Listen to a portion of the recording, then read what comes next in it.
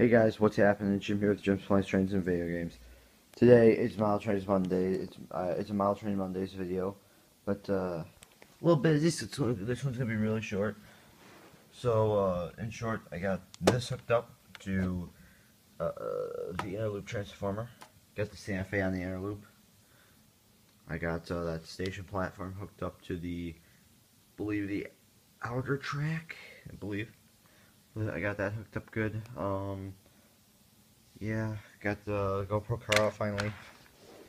And uh, for good grades, I got an 072 left-hand switch.